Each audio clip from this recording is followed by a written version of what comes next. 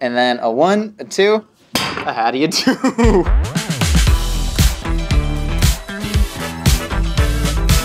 Welcome to Mythical Kitchen, where dreams become food. Today we're making the chili dog upside down cake, and we've broken the recipe down into three easy steps so you can find the time codes for right there. I, d- I don't know what to do with my hands. Is this okay? All right, so the chili dog upside down cake. We got a layer of hot dogs, we got a layer of perfect hot dog slop chili, and then we got a layer of cornbread that you're gonna unfurl like a pineapple upside down cake. Yeah, I know you're probably asking, why not just eat a chili dog? Why not just eat chili and cornbread? Because this is America and it is your right to eat an upside down cake. USA! USA! You... It's pretty good though. All right, this is my world famous chili recipe. It has won approximately zero cook-offs so far. So we have our oil going in the pot and we're just waiting for that to heat up. And then we're gonna start with one of my favorite products in the world. This is pork chorizo. My favorite part about it is when they wrap the tube, sometimes there's a little bit of raw pork just kind of hanging out of there. So what you're gonna do is you're gonna stab a hole in the tube. And my favorite part about it is that the top two ingredients are pork salivary glands and lymph nodes. Now you might see that as a negative. I see that as a positive. This is really delicious. It's gonna add a lot of great fat into your chili. And also you can just squeeze the meat right out of your tube. Great. So this is gonna form the base of your chili. I heard the audible groans from the peanut gallery. Shut up! That pan wasn't hot. So we got our chorizo almost cooking in there. One day it will be cooking. And boy, when it starts cooking, mmm, that's gonna be awesome. Uh, now you're gonna take ground beef. This is just 80-20. Got a little bit of fat in there, but there's also a lot of fat from the chorizo. And you want a lot of fat in your chili to really kind of round out all those spicy flavors and a little bit of acidity that you're gonna get from vinegar. It's gonna have a lot of really awesome, deep flavors from it because we're using this chorizo. And then we got a lot of great spices and a couple other secret little ingredients that I'll only let you know about. Just you. As far as steps goes, it's really important. You see, we got a lot of ingredients, not to keep track of. While the beef is cooking, I like to add my spices because they're actually gonna toast in that fat. So here we just have simple New Mexico chili powder. Then we got our paprika, and then we got, ooh, this is dark chocolate. This is a great thing to add to chili because it adds a lot of that deep flavor. And then you're just gonna get a little bit of that like, ooh, what's that in there? That little je ne sais quoi of your hot dog slop. Black pepper, and cumin. Cumin's another one of those things that you just smell and you instantly know it's chili time, baby. And then salt. I like to salt pretty early on in this process because I like the salt to kind of get all up there in that meat. All right, so when the beef gets about almost all the way to fully cooked, you're gonna go ahead and take your diced onions. I like to cook beef before you add that because the onions could risk steaming and then you're not gonna get as much browning on your beef. And then poblano chilies. A lot of people put bell pepper in their chili recipe. Anytime I'd use bell pepper, I kind of just like to use poblano chilies because you just, I don't know, get a little bit of spice in there, a little bit of that green grassiness without that like real irony twang of a green bell pepper. And that is all toasting in that beef fat. We're gonna let this go down a little bit more and then we're gonna add some other secret flavor ingredients. That's not a secret, that's just garlic. We got our pan nice and hot. What I like to do, I like to make a little well inside the chili. And then what I'm gonna add is tomato paste.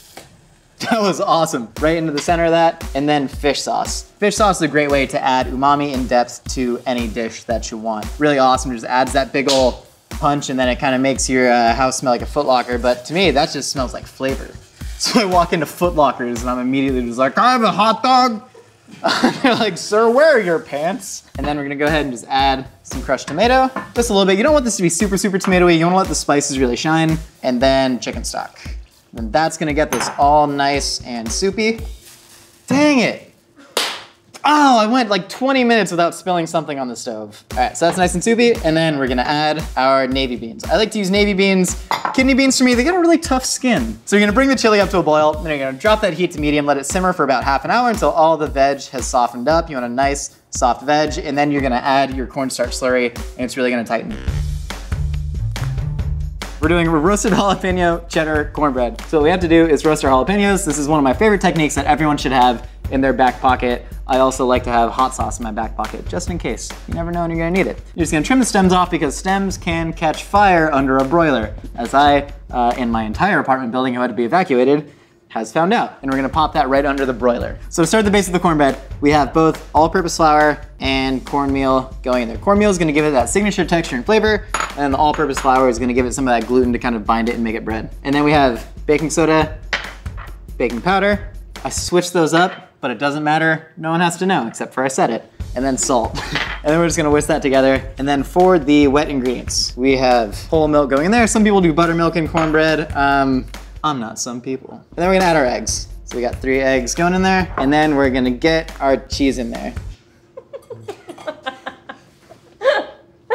Um, the proper method is you just hold the bowl, and eventually gravity will run its course. You're gonna take that and just manhandle your cheese. And then we're gonna take our wet ingredients and add it to the dry.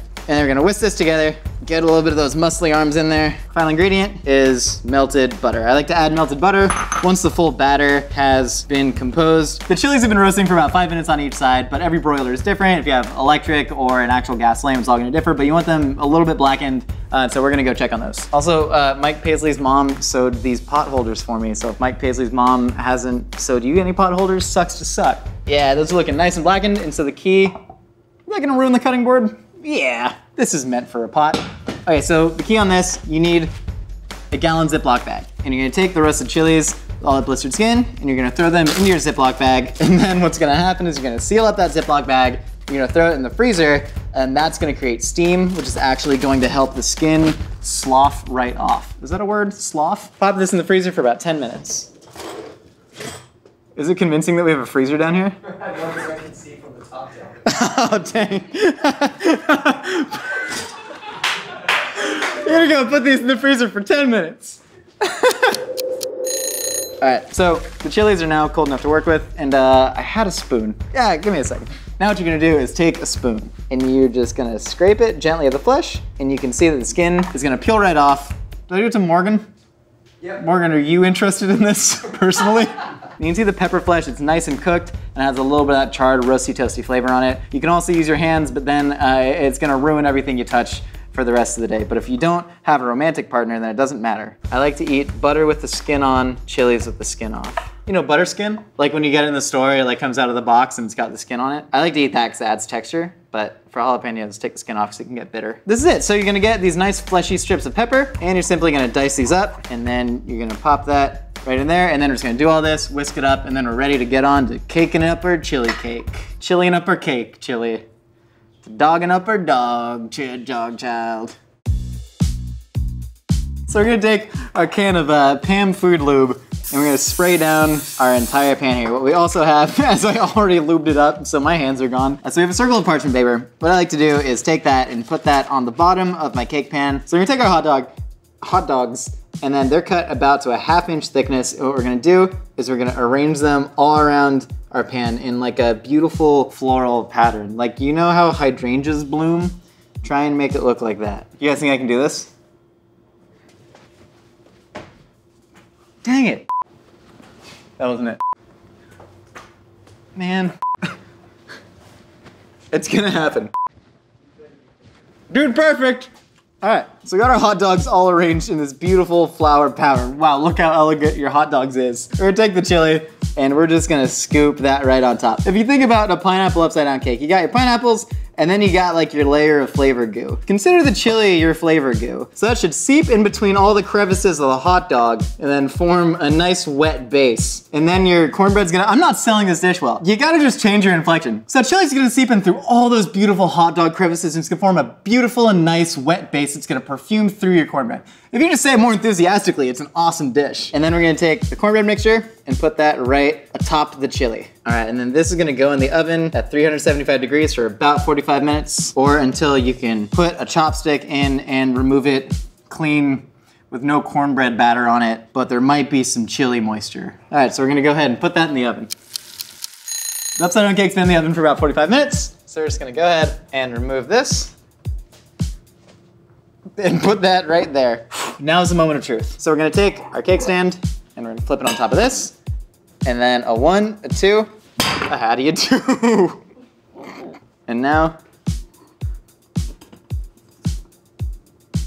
Oh, holy HE double hockey sticks. Look at that. We got one hot dog falling off, but otherwise, this is the most beautiful thing I've ever seen in my life. You got all the hot dogs baked into the chili. You see some of that moisture from the chili is actually evaporated. And so now the flavors are even more concentrated. All we gotta do is garnish this up. It's so stupid looking in the most beautiful way possible. We got mustard, we got jalapenos, and we got cheese. All beautiful chili dog toppings, all beautiful on this. So, uh-oh, a little premature. And we're just gonna draw some nice cross hatches with our mustard.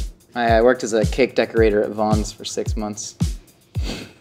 Did you really? No, that's a lie. Sometimes I lie for attention. Mm, that's not a lie. So we got our mustard crosshatched on there, and now we're just gonna grate a nice mound of cheese. Do it in a nice spiral fashion. Really let it pool in the middle. And now we're just gonna take jalapenos, decorate that around there.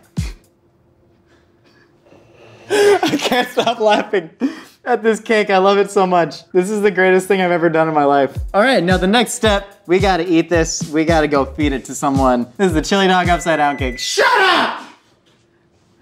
All right, so now we get to cut into the cake and eat it, and I'm so excited. I really want to preserve that beautiful hot dog shingling that we worked so hard. And also, you know, I think the mustard pattern is pretty cool. Look at that. Oh, wow, you can see like the chili created a beautiful goo layer. I don't know how you did it, but you covered up every single carrot you do with that. Oh, wow, look at that cake. You guys see that? That's crazy. All right, now we gotta taste it, which I am very excited for. I'm gonna go right for the corner. Whoa, that's slidey.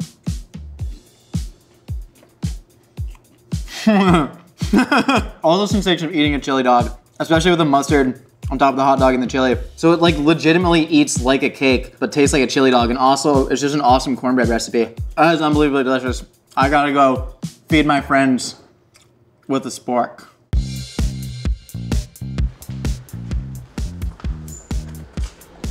Hey, what you doing? Oh god. what is this? Do you want to eat my chili dog upside down cake? All right, so we have a cheddar and roasted jalapeno cornbread base. We have a chorizo chili top, and hot dogs, cheese, jalapenos, and mustard. I'm too proud of myself for this. Uh, I'm just gonna, I'm gonna get you the perfect bite. Sorry for touching it with my hands. Am I getting sporked right now? You, you got sporked, bro.